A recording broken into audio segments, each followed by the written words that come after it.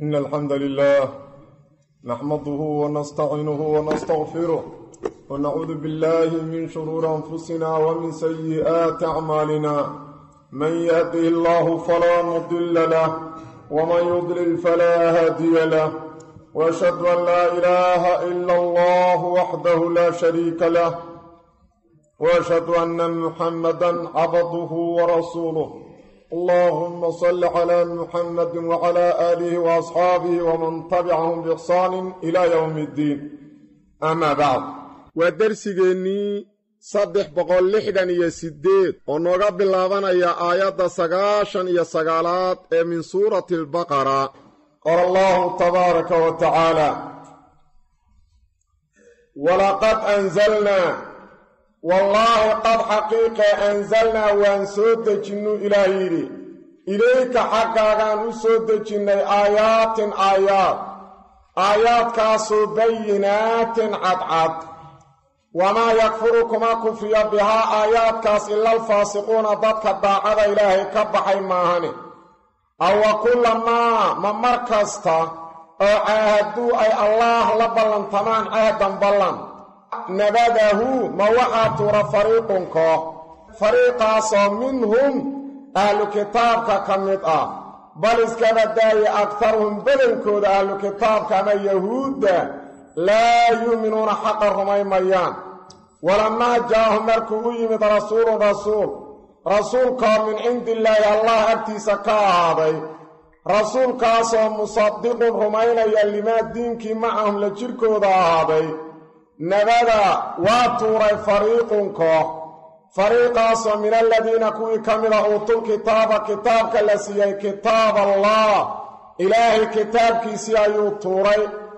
Waraa'a duhuurihim dhabaryaalkooda gadaalkooduuna u tuuray. Ka'annahum xaalay la mid yihiinay tuureen. Laa yaclamuuna kuwaan kitaabkaba waxba ka ogeyn. Watabacuu waxay raaceen markay kitaabkii allah tuureen maa wixii tatlu shayaadiinu shayaadiintu ay ka akrinaysay calaa mulki sulaymaana nabiyullaahi sulaymaan waqtigiisii. Wamaa kafara sulaymaanu nabi sulaymaan ma gaaloobinoo sixir ma baran.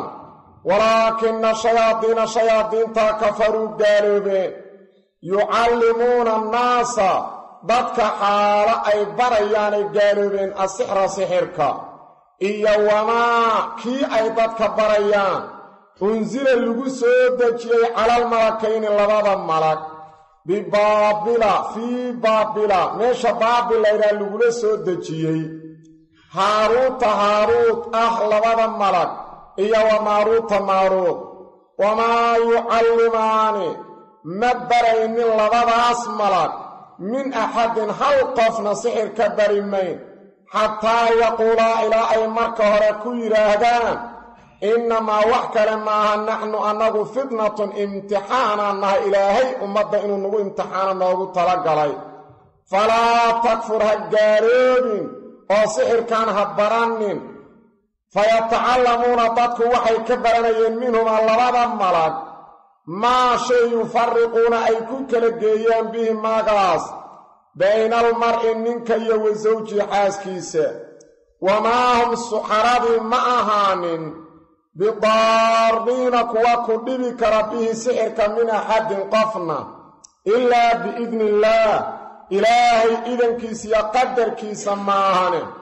wayatacallamuuna waxay ka baranayeen maa shay yaduruhum dhiba oo dhibaato maxdiya leh walaa yanfacuhum waxna aan tarin walaqad calimuu wallaahi qad xaqiiqee calimuu yahuuddu waxay ogaadeen laman qofkii ishtaraahu sixirka gata maa lahu inuusan u sugnaanin fil aakhirati aakhira dhexdeeda min khalaaqin wax nasiib ah.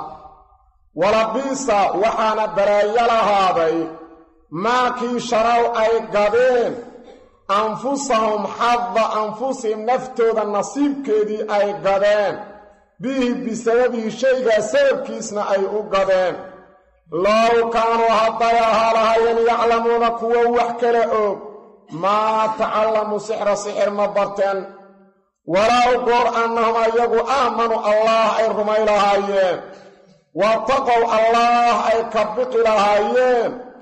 Lamahuubatun ay la ihaabatun ajarsiin ajarsiintaasoo min cindi illaahi allah agtiisa ka ahaatay aa khayrun lahum ayaa khayrun u khayr badnaa laheed. Low kaanuu hadday ahaa lahaayeen yaclamuuna kuwa wax kala og. Allah subxaana wa tacaala wuxuu nooga soo hadlaayey nimankii ahlu kitaabka ahaa iyo cinaadkooda iyo xaq diididdooda ayaa rabbi nooga soo hadlayay subxaanahu wa tacaala ilaah wuxuu yidhi subxaana walaqad anzalnaa wallaahi qad xaqiiqe anzalnaa waan soo dejinnay ilayka xaggaagaanna u soo dejinnay nabiga subano aayaatin aayaad aayaadkaasoo bayinaatin cadcad aayaad cadcad oo tusaya nabi maxamed nabinimadiisa inuu nabi xaqa iyo horuu sheegayo oo tusaya allaha soo diray awood kaamila inuu leeyahay aayaadkaas ayaan xaggaaga u soo dejinnay aayaadkaasna waxaa ka mid a cilmiga maknuunka ah ee waxa weeyaan sirta ah ee la qariyey. Ee nabi maahano nabi maahana cid kale ogu aysan jirin oo uu sheegayaaba ka mid a aayaad. Oo darsigeenni saabiq ahayo shalay aan ku qaadannay.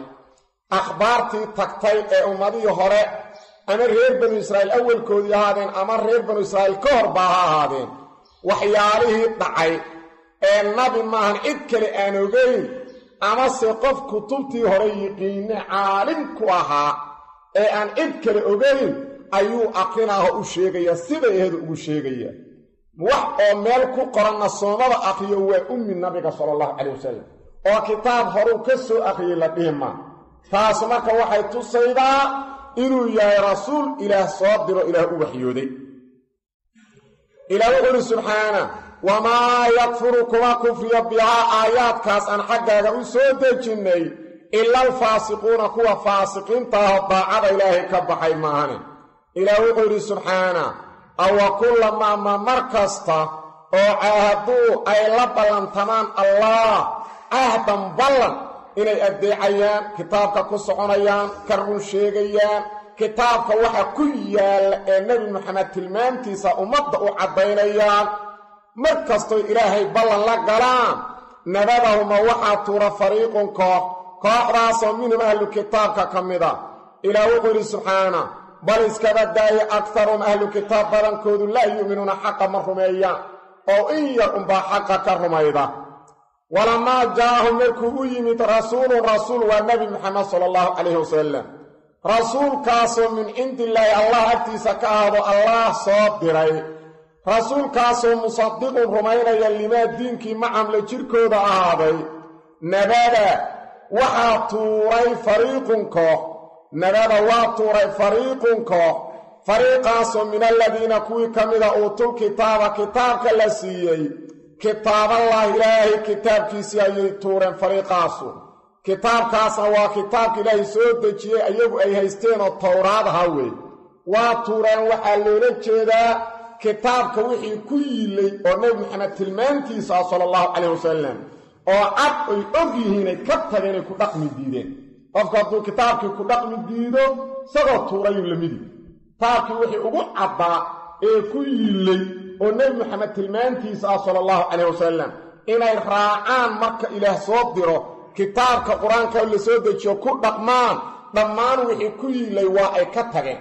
Qofku markaa hadduu kitaabkii wixii ku qornaa ee caqiido ahaa ee cibaado ahaa ee xubun ahaa ee akhlaaq ahaa axkaamtii ku tilay hadduu ku dhaqmi waayo asagoo tuuray kitaabkuu lamidi isagoo tuuru lamidi marka waa tuureen kitaabkii waraa'a duhuurihim dhabaryaalkooda gadaalkooday ka tuureen shayga waxa way haddaad gadaal ka tuurto waa shay aadan rajo dambe ka lahayn sababtoo ah xataa meelu ku dhacay ma aadan fiirin. Waxaad dhici kartaa shayga horey hadda u tuurtay inaad u jeedda meeshuu ku dhacood ka sii qaadataba laakiin shay aad gadaal ka tuurtay waa shay aadan wax rajaa iyo wax dana ood ka leedahay aan la arag marka kitaabkii alle waxay ka tageen si toosay uga tageen oo aysan dib u milicsan.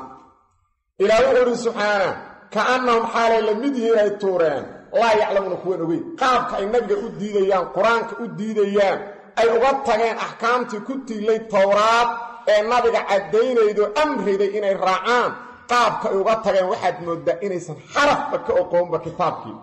Kitaabkii towraad ahaa ee inay ku dhaqmaan la amray xaraf inaysan ka oqoonad mooddaa. Qaabkay nabi maxamed u diidayaan qur'aanka u diidayaan u inkirayaan. Sida mushrikiintii sarabcaabiyaalka ay u inkirayaan waana caalimiinay ku yihiin. Waxa weeye nabiga iyo qur'aanka inuu xaq yahay caalimiinayna ku yihiin. Marka iyagoo caalimiinku ay tuureen marka waxay ka dhigan yihiin inay ilaahay kitaabkiisii tuureen. Sidaasay ka dhigan yihiin maadaama aysan ku dhaqmayn wixii ku yiilana iska indhatirayaan hadday kitaabkii tuureen maxay ku beddesheen watabacuu waxay raaceen. Meladii kii tatlu shayaadiinu?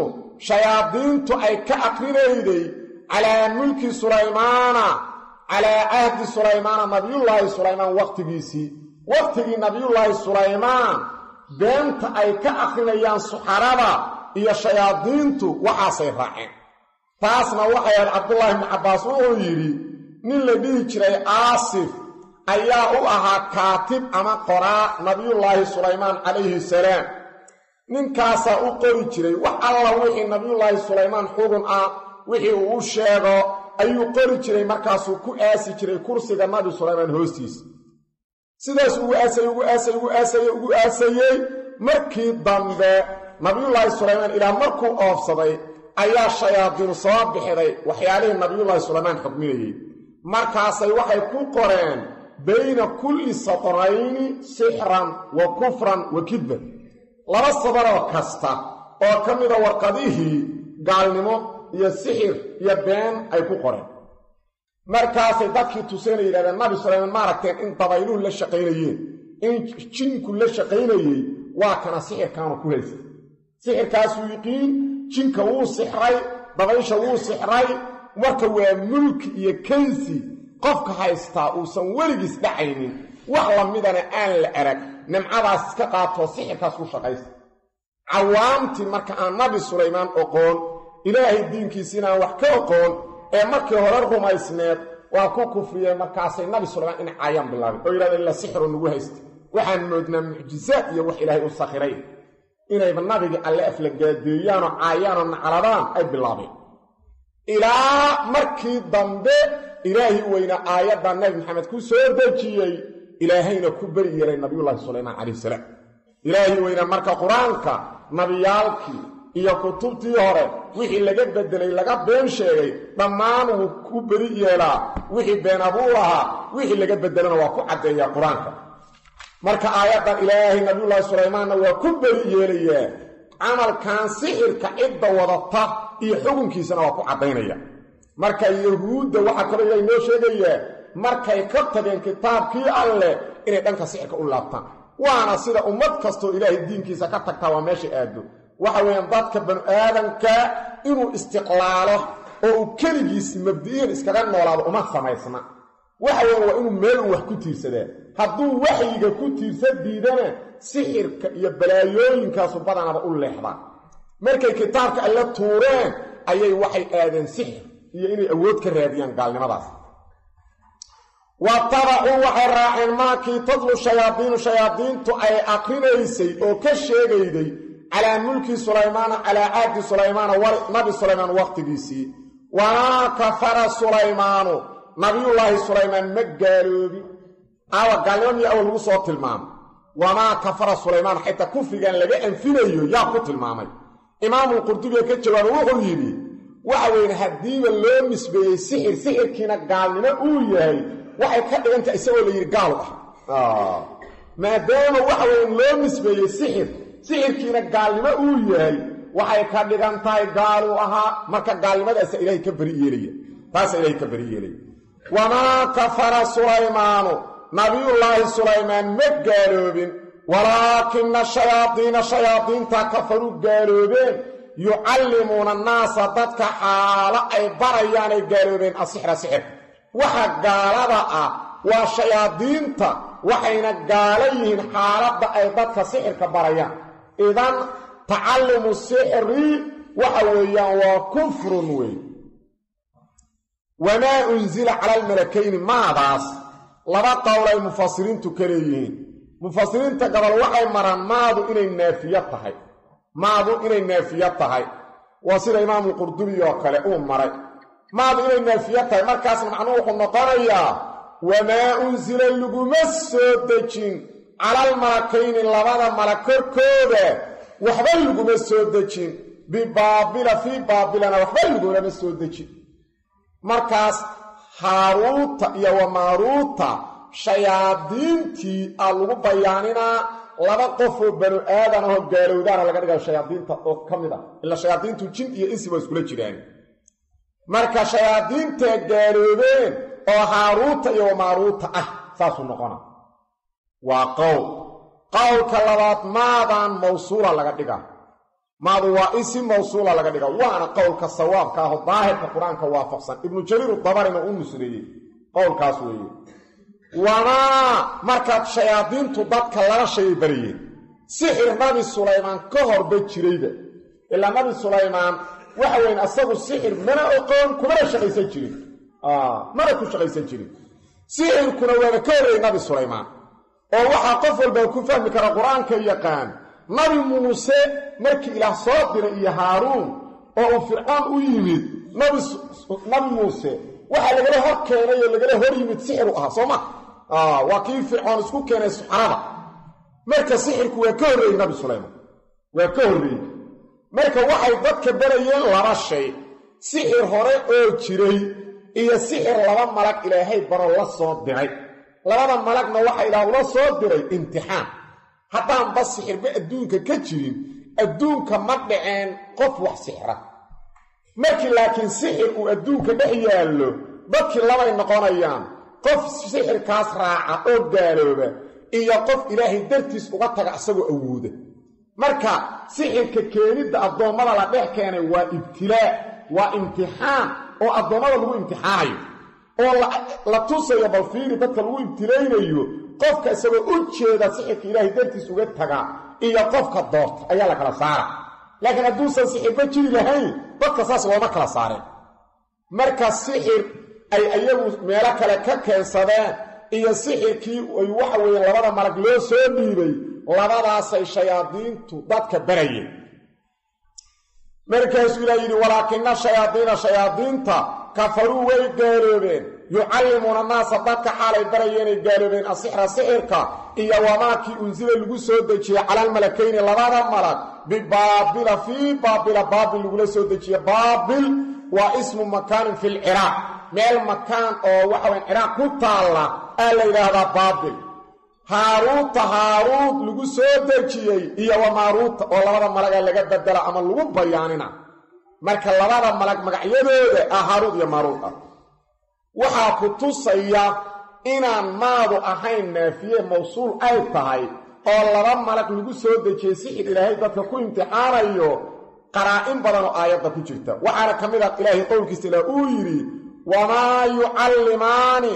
Labada malag beri mayn min axadin qofna xataa yaquula ilaa ay yidhaahdaan innamaa wax kale maaha naxnu annagu fitnatun imtixaan aan nahay. Falaa takfur ha gaaloobin oo ha ku gaaloobin bitacallumi sixri. Marka waxaa la ogsoon yahay ma dhici karto laba ninoo laba gaal ah oo shayaadiin ah. Dadka markay sixirka bara inay yidhahdeen war ha gaaloobin oo sixra naga baran. Ma dhici karto. Waxaa sidaas dhihi karaa wuxuu yahay malag ilaahay iyo nabi iyo qof suuban oo dariiq xaqa ku jooga. Marka laba malagay ahaayeen sidaasay dadka uga digayeen oo ileeyiin war waxaan waa imtixaan. Ilaahay baa ugu talagalay addoommada inuu ku imtixaano. Ilaahay baa ugu talagalay. Ilahay addoommada waa imtixaana bal fiiri. Hadda waxaweyn gaalka dajaale inta gaala ugu weyn marka uu yimaado qoladii rumayda cirkow roob u soo daadi u markaasuu soo daadina.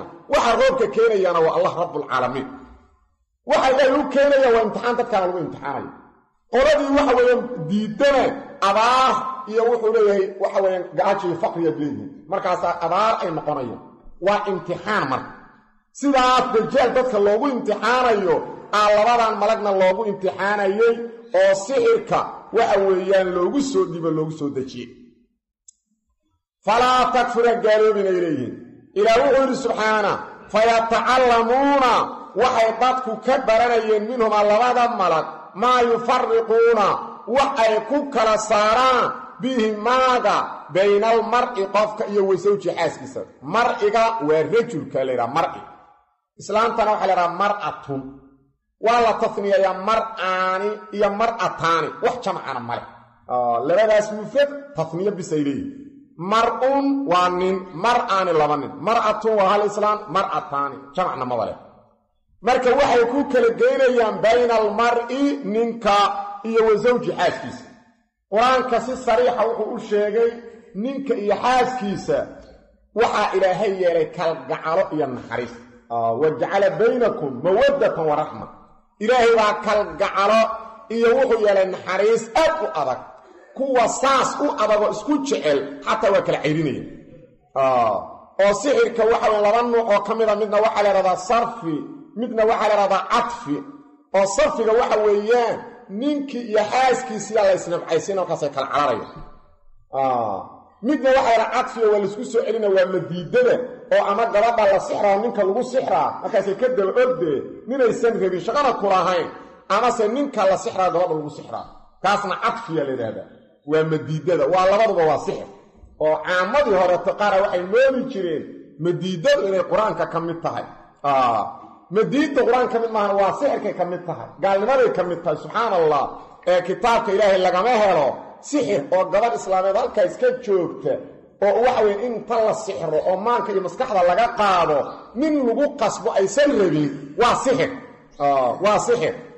Marka laba nuucay aheedoo dadka sideeda waxaa sixirka iyo kaadashirta iyo haddaad maqashaan waa laba shay. Qaar waa sixir dhab ah oo dad suxaraa shayaadiinaha wada qaarna waxa weeye afmiishaarnimo lagu wada.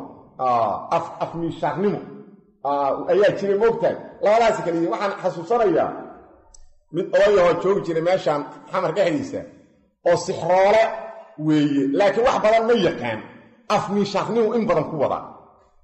Afmiishaarnimu uu in badan ku wada baasha qaarna shayaadiin rasmi u haystaaho la shaqayda. Labadaasay kala yihiin. Marka waxa weeyaan qolaal waxaa laga xaday deriska awan ay korsan jireena laga xaday tuuga ka qaatay markaasaa loo soo yeelaa aw shiiqi shiikh waxaan rabnaa inaad waxa weeyaan kaadi shir ku akrido asagoo kaadida ku dheganta aad keento tuugii afarad kala dooraydaanu inaan idinka celiyuusa idinku soo laabunsa mar dambe wanka idinka wadan kale ood korso doontaan. Xoogaana aad isiidaan iyo qodobka labaadoo ah inay meeshiisa ku dilaba. Qodobka saddexaad asagoo kablaynaya inaan keeno. Ordaya oo anaa qaaday wankii mid saddexaad mid afraday marka marka wuxuu yidhi waxaanaynu kula talinaya labo waa qof un iska miskiina aan idinka celiy xoogaana isiiy inuusan idinku soo laaban. Waysan ahayn asaga dhanba bartiisaan ku dilaan marka kuwaa la teliyey islaamtii wanka laga hadlo kaasi waxay yidhahdeen maya waxaad tidhahdaa hadduu dilo inuu dilo in kale ma ogni. Isagaa sheegaaye hadduu celiyo inuu iska tegay in kale isagu inuu celiyo man kale ogni waxaad tidhahda isagoo kablaynaya ii keen halkan socda marka kuma marka wuxuu yidhi hadde kaada ku-xirid wuxuu yidhi taas waa arrin weyn oo khataraho wuxuu yidhi qof dhan oo kablaynayo la keenaayo diyadiisa siina kuma macnaha ma awoodo mogtay soo ma jeedi ma awoodo. Ma awoodo. Wa waxaan xasuusanayaa nina ordayaa yimid waa mawlacda marka xera iska fadhida. Markaasa dadku fiiri sixirki iyo diinaysan kala fahmayn bal fiiri markaasuu uri nimanyo lacagaa la xaday waxaan rabaa ninkaada shirta yaqaan.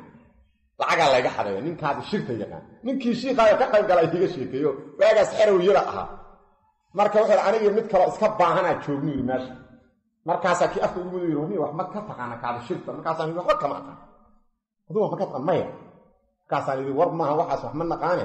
Nawadi anaa aqaanaan leeya aduu nawadi kaasuu yidhi annagaan naqaanay nawadi waa raacnay ninkii hadda sameeyaa iigu sheegay saas. Waa raacnay yidhi gurigii markaa saas u soo galnay. Aan idhi yidhi natus lacagtu meeshay tiillay. Asagoo kablaynaya anaa keenaye isagoo saas u kablaynaya kaadii ku dheganta anaa keenaye saas aduu kaliya ii tus markaasuu yidhi salligaas hoosiisa iigu jirta. Saan idhi wax yar iisug isagoo kablaynaya hadduusan imaan.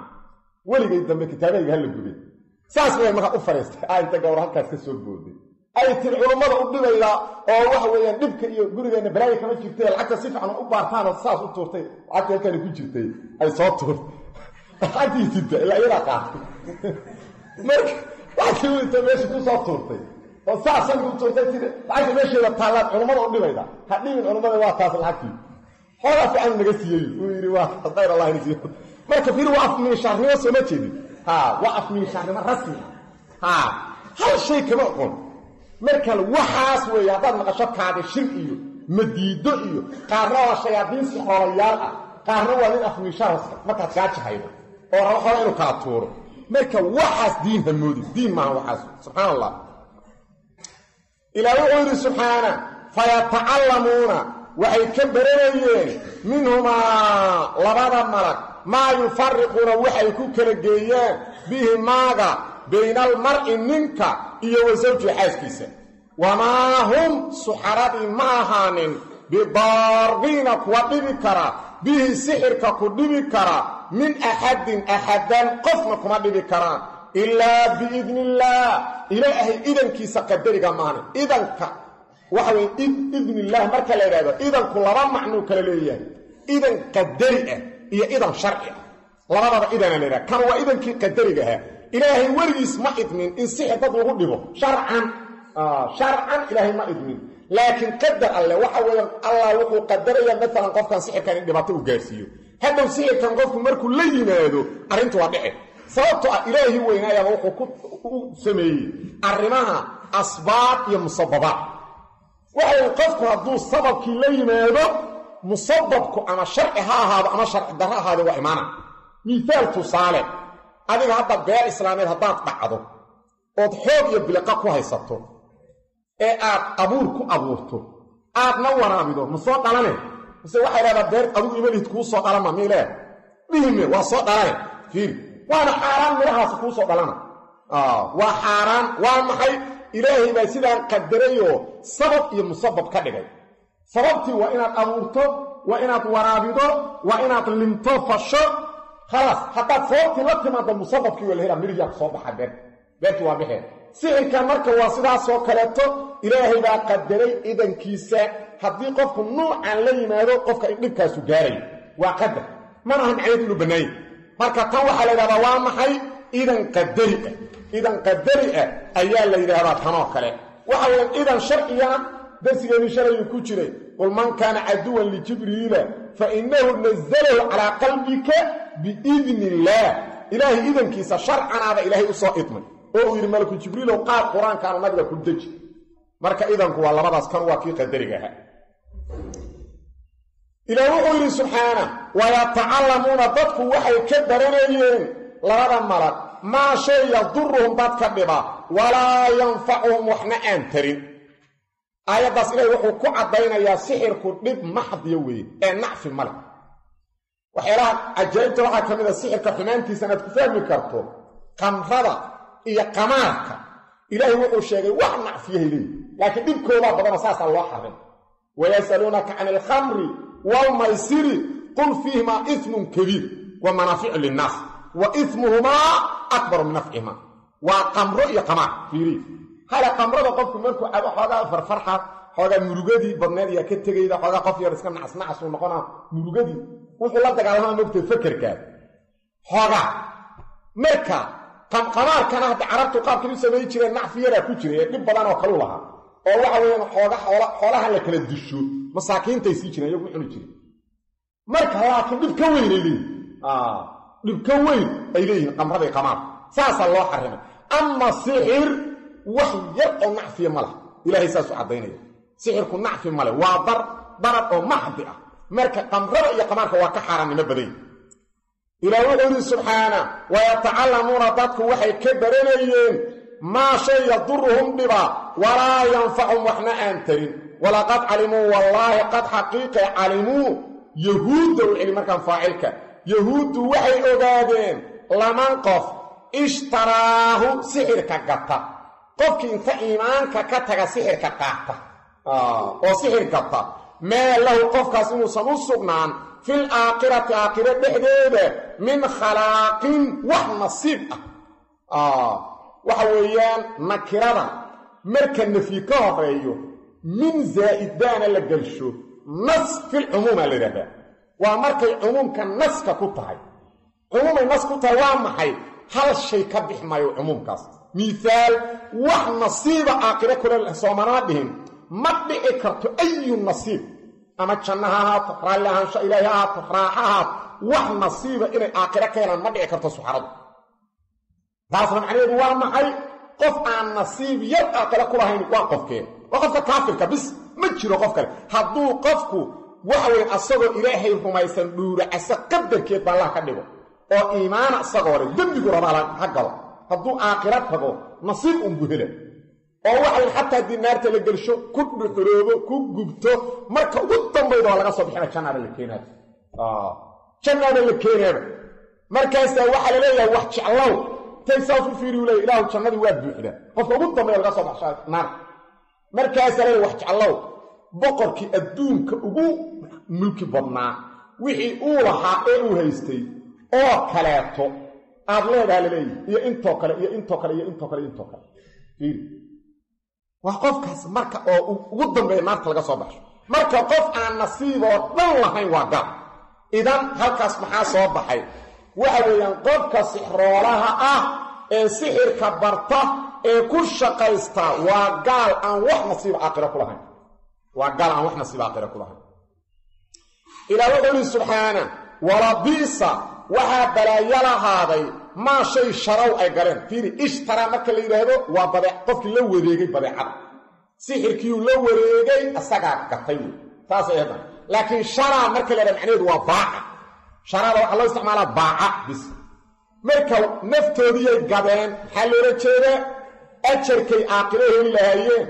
Hawaabkii wax alla waxay aakhiro heli lahaayeen waa gadeen oo waa iska bixiyeen waa ka samreen maxay ku bedesheenoo qaateen? Sixir iyo gaalnimo ilaa wuxuu idhi subxaana walabiisa waxaa balaayo lahaaday maa shayga sharow ay gadeen bihi shaygaa sababtiis anfusahum ay xadda anfusihim. Naftooda nasiibkay aakhiro ku lahaa laheeday galeen ay xaraasheen. Maxay qaateen? Sixirkaasay gadeen ay qaateen. Sixiray ku qaateen oy ku bedesheen ilaa wuxuu idhi subxaana low kaanuu yaclamuuna jawaabka maxduufa hadday ogaa lahaayeen oo dad wax kale og ay ahaa lahaayeen maa taclamu sixir ma barteen miyay dhici karta qofku? Sixirkaas yarkaa uu meelaha la hunduro waxa yarkaa husaaka ku qaadanayo inuu ku beddeshay jannadii ilaahay oo dhan. Imisuu khasaaray qofkaas.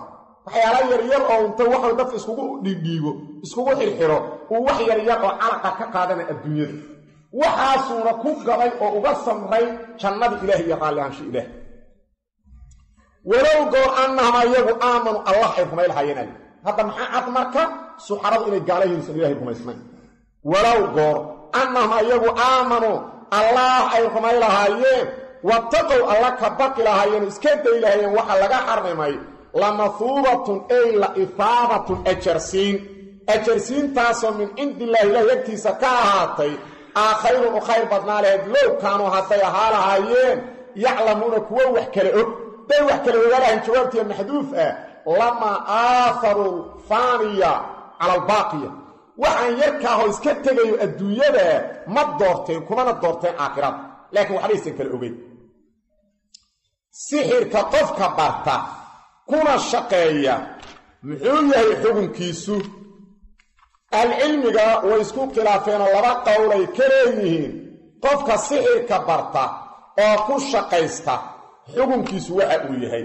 Kadib markay isku waafaqeen sixirku shay xaqiiqale inuu yahay oo jiro khilaafan lilmuctasila muctasiladu waxay qabtaa sixir wax laydhaha maba jiraba waana dalaal waa dalaala waa qur'aankiiyaba la beeniyey wey laakiin ahlu sunnuhu waxay qabaan sixirku waa jiraa barashadiisuna waa xaaraan qadcan ah laakiin qofka bartee ku shaqaysta ma gaala mase waa muslim laba qowlay iskugu khilaafeen a'immada in badanoo ka mid ah sida alimaam abu xaniifa imaamu maalik axmed ibnu xambal waxay qabaan qofka sixirka barta kuna shaqaystaa waa gaal muslimna ma aha.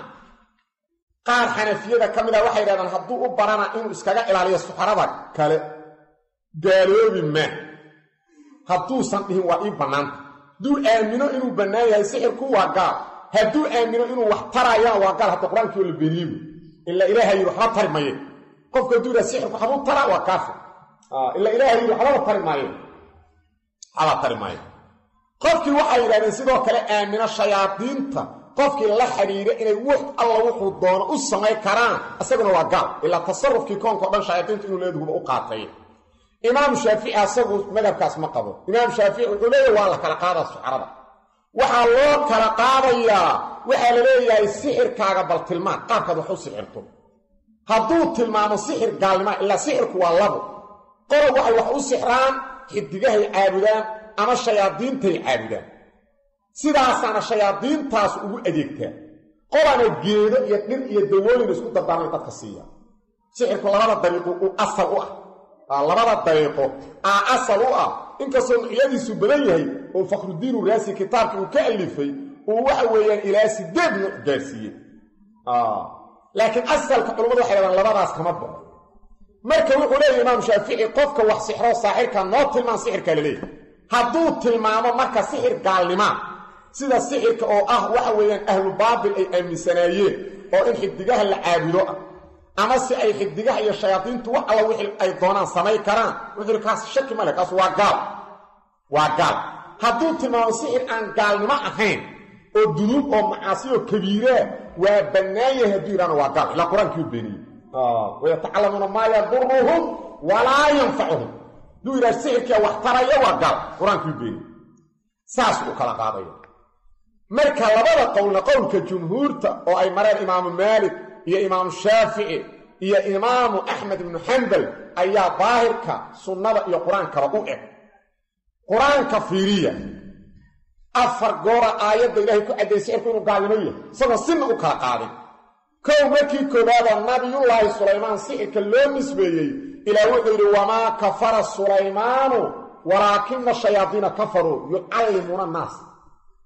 Sulaymaan ma gaaloobin laakiin waxaa gaaloobay shayaadiinta waxayna gaaloobeen xaaladda ay dadka sixirka barayaan. Shayaadiintaasu shayaadiinul insi ha ahaadeen ama shayaadiinul jin ha ahaadeen. Taas waa sariix inay gaalnimo tahay oo laba goor weliba ay caddeeyo ilaahay. Meesha kale ilaahay ku caddeeyo aayaddana waxay tahay labada malag waxay dhahayeen qof kastoo yidhaa waa baranaa falaa takfur ay dhahayeen. Innamaa naxnu fitnatun falaa takfur. Annaga imtixaanaan nahaye ha gaaloobinoo ha barani. Mar saddexaad markii koowaad waxay ahayd wamaa kafara sulaymaanu walaakina shayaadiina kafaruu marka sulaymaanna waa laga anfiyo gaalnima looga anfiyey inuu yahay shayaadiintana waa lagu sugay waa labo. Labada malag waxay dhahayeen innamaa naxnu fitnatun falaa takfur. Ha gaaloobin waa mar saddexaad oo la caddaynayo inuu gaalnimo yahay. Midda afraad waxay tahay walaqad calimuu laman ishtaraahu maa lahu fi laakhirati min khalaq. Waxay ogaadeen yahuuddu qofka sixirka qaata aakhiro inuusan nasiib ku lahayn. Qof aan aakhiro nasiib ku lahaynna gaalkaa ka jiro waa mar afraadoo aayadda ilaahay ku caddeeyey sixirku inuu gaalnimo yahay. Aayadda kaleeto ka dambaydana mar shanaada ilaahay ku sheegay. Oo ilaah wuxuu yidhi walow annahum aamanu hadday alla rumay lahayn sixirka iska day taasna waxay tusaydaa dadkii sixirka bartee ku shaqaynaya inaysan mu'miniin ahayn oo aysan ilaahay rumayn marka shantaas ayaa labada aayadood ku jirta oo caddaynayda sixirku inuu gaalnimo yahay. Xaafid ibnu kasiir waxaa sidoo kale ayidayuu yidhi oo loo daliishanayaa xadiidka saxiixa ah ee nabigu uu yidhi sala allahu calayhi wasalam man ataa kaahinan aw saaxiran fasadaqahu bimaa yaquulu faqad kafara bimaa unsila calaa muxammadin qofkii u taga qof sixroolo ah ama kitaab gaablow ah oo wuxuu sheegaya ka rumaystaa qofkaas waa gaaloobay oo waa ku gaaloobay diintii nabi maxamed lagu soo dejiyey sala allahu calay wasalam taasuna waa istishaaray u tahay oo shaahiday u tahay marka sixirku waa gaalnimo qowlkaas waa qowlka jumhuurta daahirka iyo xadiidkan daahirka qur'aanka iyo xadiidka sunnadana aad ugu eg. Qowlka kalena baciid ma ahan oo dhahaya dawada. Hadduu dawo adeegsanayo waa xalaal hadduu yidhaha qur'aankii beeni waa gaalnimo. Hadduu yidhaha shayaadiintu waxay doonaan ay samayn karaan waa gaalnimo. Laakiin dawo keliya hadduu adeegsado ousan shayaadiin adeegsanaynin markaas gaalnimo ma gaarsiisna qowlka dhahayna waa qowlka imaam shaafici waa qowlka. Mas'alada kaleoo sixirka ku saabsan waxay tahay qofka sixroolaha ah sixirka haddii uu barto uuna ku shaqaynayo dadkii uu sixrayo ma la dilayaa mase dilkiisa waa la kala qaadaa waxaa la leeyahay dad miyuu dilay mise ma dil. Labadaas qowl ba ahlucilmigu waa leeyihiin. Qowlka koowaad wuxuu leeyahay qof alla qofkii sixroolaaho sixir barta sixirkaasna ku shaqeeya waa la dilaa. Ama ha ahaado inuu dad ku dilay oo ku sixray ama dad yuu sixrin. Marba hadday caddaato inuu waxa weye sixir ku shaqaynayo sixir yaqaano waa la dilayaa xukunkiisuna waa dil. Xukunkiisuna waa dil.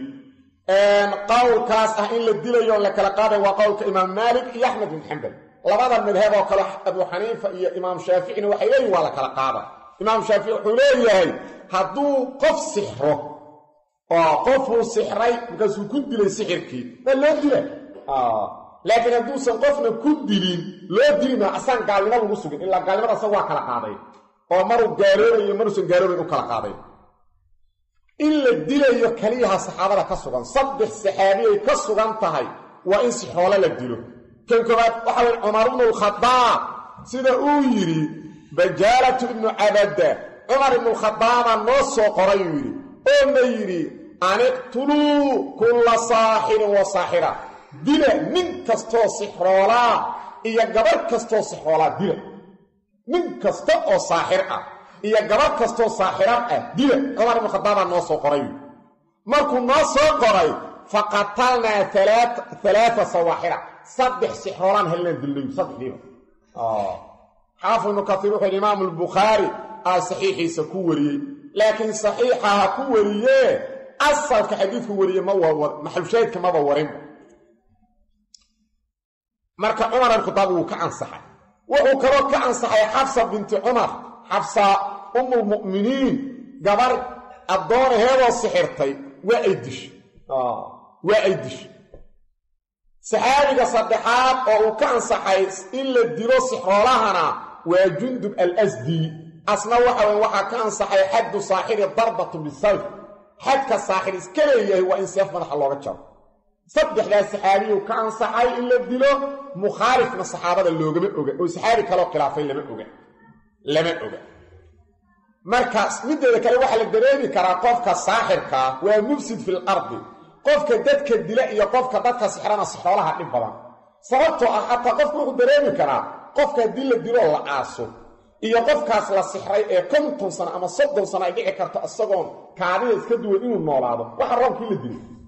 Wax isku dhow maaha wax isku dhow maaha idan sixrooluhu waa cadow oo waxa weeyaan in la dilo dhulka laga dahiro ay tahay weeyaan. Silada kaloo sixirka ku saabsan waxay tahay sixir furma loo samayn karaa qofkii la sixray. Ahlcilmigu labay u kala qaadeen waxa lagu sixir furayaa hadduu yahay adkaar iyo qur'aan lagu aqriyo haa iyo wixii la mid ah. Hadday tahay sixir kale in lagu furayana sixir ma furo ilaa sixroolo kale maahan. Mana bannaana. Qowlkaasaa u raajixsan. Marka sixirka sababtoo ah waxa weeye sida bukhaariga muslimka ku sugan caaisho waxay tihi nabigeena suuban sala allahu alay slm yahuuddu waa sixreen yahuudda makrigooda meeshuu gaaray. Waxa weeyaan nabi muxamed sala allahu calayh wasalam sixray u sameeyeen. Oo ninkii yahuudka ee nacallaqabaha ahaa ee la dhihi jiray labiid ibnu acsam ninkaasaa sixray. Labiid ibnu acsam ninkaasaa sixray. Marka markii uu sixray caaisha waxaan ku yidhi rasuulka allow sixirka ma iska furtid. Markaasaa nabigu yidhi ama allaahu faqad shafaanii wa khashiitu an aftaxa cala annaasi shara aniga horta allaaba iga caafiyey sixir furna waxaanan u aadayn ummadda albaabka sharta inaan ku soo furaan diiday marka sixir ha la furo sixroole sixirka furo ha loo tago waa albaabka sharta ummadda ha lagu soo furo. Marka ma bannaana sixirka in lagu furo sixir kale. Laakiin waxaa bannaan in waxa weeyaan adkaaraha iyo qur'aanka la yskaga waxa ugu sarreeya wuxuu yidhi xaafid ibnu kasiir oo sixir lagu furo oo sixirka dadka looga wadana waa wixii ilaahay nebi maxamed ku soo dejiyey si sixirka loo layskaga baabi'iyo. Waa labada suuradood ee qur'aanka ee mucawadataanka qul acuudu birabbi alfalaq qul acuudu birabbi innaas kuwaasaa lagu aqriyaa sidaas ilaahay u soo dejiyaa loogu aqriyaa sixir sixir sixir looguma aqriyo sida allah u soo dejiyey ugu aqri canjeed inta ku dubto sixir sixir sixir dhegta ha kaga shibin iska daa taas nacfi ma lehe waa talaacub bikitaabillaah waa kitaabka allo lagu cayaarayo taas taas dembina waa kelayda caafimaadna lagu heli maa ee waxaa saxiix ah ku akri inta arki fadhiisatid oo niyeysatid cibaad ahaan ugu akri ilaahayna ugu tadaro cibaad ahaan ugu akri ilaahay ugu tadaro wax la nacfigu ma jiro. Nabi maxamedaa yidhi lam yatacawad ilmutacawiduuna bimilihimaa weligeed ilaahay kuma magangelin labadaas suuradood oo kale wax lamida dad dadka ilaahay magangelayaa labadaas suuradood wax lamida ilaahay kuma aysan magangelin marka waxa lagu magan galo ilaahay waxa ugu weynay ka mid yihiin oo jin iyo insi looga magangalay labadaas weeyaan. Wuxuu kaloo xaafid ibnu katiir halkan ku keenay alimaamu alqurdubi afar uu ka soo wariyey wahab. Wuxuu yidhi haddii toddoba caleen oo caleenta gobka ah ta la soo gooyoo la tumo oo la baaba'sho aayad kursiga lagu aqriyo qofka la sixrayna uu cabo uuna ku qubaysto sixirku waa ka tegayaa wa khaasatan ninka xaaskiisii laga sixray u galmooshada kaasu aaduuna ugu sii fiican yahay waana wax iska tajrubaahe waxyi maahan ogow. Ugu dambayn masalada sixirka ku saabsan. Waa sheegnay ahlu sunnuhu waxay ka qabaan laakiin masale muhiima xaafidku halkan ku sheegay ayaan ayadana ku darayna. Alimaam abu cabdillaahi waa imaamka waxaan ula jeedaa ashaaciradee abu cabdillaahi arraasi waa faqrudiin raasi kitaabu sixirka ka alif. Kitaabkaas oo la yidhaahdo asiru lmaktuub sirta la qariyey. Fii mukhaadabati shamsi wanujuum xidigaha sida loola hadlayo qoraxda aan ka hadlahu kitaabu ka alif. Bal qaabka qoraxda loola sheekaysa iyo xidigaha xaafidku waxaa la sheegaahu inuu ka toobad keeno. Saasaa la sheegaahu. Marka inuu kitaabkaas sixirka markuu uga hadlaya mas'ale mas'alo uga hadlay waana ku xeel dheeraad. Mas'alada shanaad wey masalada bis aan ka aqrayna inta kaleeto qofkii raba wuxuu ka daalacana kitaabka inta uu soo naqliyo xaafidku xaafid ibnu katiirna wax ilaa waxa weeye saddex safxo ayuu ka soo naqliyay kitaabkaas. Bixuruufi.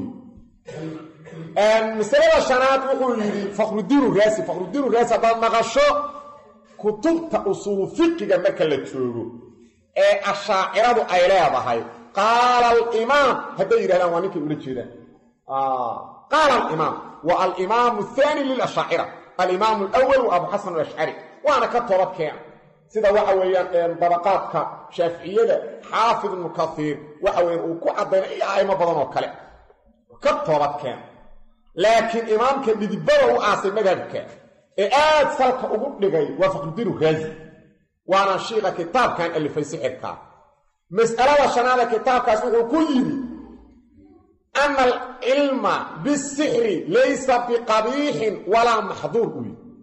In sixir la bartaa shay xaaraanana ma ahan mana xumaba. Markaasuu yidhi ittafaqa almuxaqiquuna calaa dalik culammada muxaqiqiinta dhan aaba isku waafaqay uusan xumayn uusanna waxa weeyaan xaaraan ahayn. Markaasuu yidhi lianna alcilma lidaati shariif si kale ha u fiirin inuu cilmi yahay ka fiiriyo cilmina waa shariif. Wy waa wax sharaf licilmi markaasuu yidhi waxuba soo gelayaaba ilaahay qowlkiisa. Ilaah uu yidhi qul hal yastawi aladiina yaclamuun. Waladiina laa yaclamuun. Ma waxaasi mandadaan wax oqoni dad wax yaqaan. Aayaddaasu soo gelayay qof sixir yaqaana waa ka fiican yihiin qofaan oqon aayaddaasuba soo gelayaa markaasuu mid waaba ka fogeeye walianna sixra low lam yaclam lamaa amkana alfarqu baynahu wa bayna almucjisa wuxuu yidhi qofaan sixir oqoon haddaan sixir la garan la baran suurtagalba ma ahaadeen in la kala saaro. Farqiga u dhaxeeya mucjisada nabiga iyo waxa weeyaan iyo sixirka. Waxa lagu kala saaraaba waa sixirba barashadiisa. Markaasaad kala garanaydaa sixir iyo mucjiso nabi. Markaasuu in la barto mucjisada waa waajib haddaan sixir la barana lama baran karo. Idan sixirka barashadiisu waaba waajib. Markaasuu ma shay waajib ah aa qabiix noqon kara ama xaaraan waaba waajib in la bartaa shantaasuu ka yidhi kelima xaafid ibnu katiira dabagalay marka shantiiu mid mid u naqdiyey si edab iyo akhlaaq badan cilmi badan. Wuxuu yidhi wa haada alkalaamu fiihi nadar wuxuu yidhi warkan waxbaa ku jira. Warkan faqrudiinu raasi waxbaa ku jira min wujuuhin dhowr dhinacaana wax kaga jiraan. Wuxuu yidhi hadalka koowaad uu yidhi alcilmu bisixri laysa biqabiix ma xuma uu leeyahay labaan leenahay uu yidhi. Hadduu ula jeedo caqli ahaan ma xuma waxaan leenaha caqli ahaan laysuma waafaqsan inuu fiican yahay.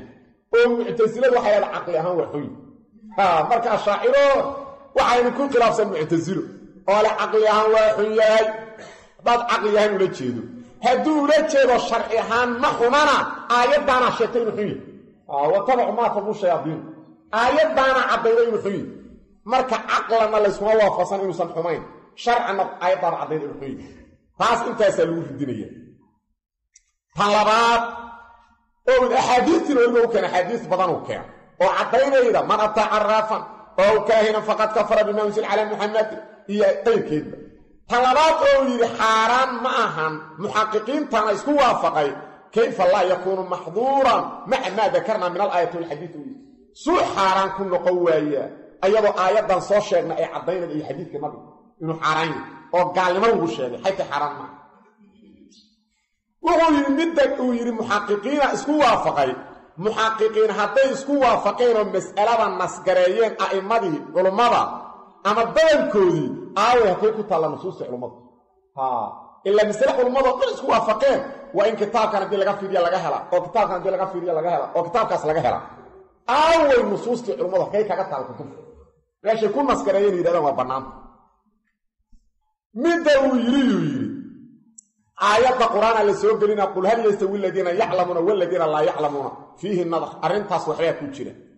Aayaddu waxay ka hadlaydaa ammaanta caalimiinta sharciga yaqaana. Marka eexaad u tiri yidhi sixiraa soo gelaa uma taraqiihi ilalwujuub kadibna kor unta u sii wadu yidhi waa waajib uu gaarsiiyu aan la kala saari karin mucjisada iyo waxa weeye sixirka ilaa asaga in la barto. Wuxuu yidhi daciifun bal faasidu warkaasu waa daciifir bal waaba faasid warkaasu. In la yidhaha lama kala saari karo sixir iyo mucjiso oo qofku mucjisadu inay mucjiso tahay ma gara karo ilaa uu sixir barto. Hadalkaas waa faasid. Inuu faasid waxaa ku tusayuu yidhi inuu faasid yahay nabigeenna mucjisaadka ilaahsiiyey qur'aanka ugu weynaa qur'aanka ugu weynaa waxa weye qur'aanku inuu mucjiso yahayna kuma xirna sixir in la barto. Ma ku xirna. Sababtoo ah wuxuu yidhi saxaabadii taabiciyaalkii a'immadii muslimiinta dhammaantood waa ogaayeen qur'aanku inuu mucjiso yahay sixirna maysan oqon bal qofka yidhaha saxaabadu suxaray ahayn sixiray yaqiina kaafir sixirna ma oqoon waana kala yiqiineen sixir iyo qur'aan. Soo ma jeedi. Marka waa baatil lama kala saari karo. Waa baatil lama kala saari karo. Idan markaa sixir la bartaa waa gaalnimo waana xaaraan qadcana wax bannaana ma aha. Dhammaan dadka qur'aanka yaqaana qur'aan iyo sixir layskagama qasi karo soo ma. Sixirna ma naqaan